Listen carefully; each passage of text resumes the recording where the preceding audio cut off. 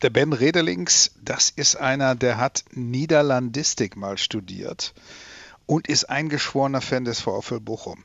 Wenn du in deinem Leben so eindeutig auf der Loser-Seite bist, das musst du irgendwie kompensieren. Und das tut er, indem er begnadete Bücher voll mit Fußballsprüchen schreibt.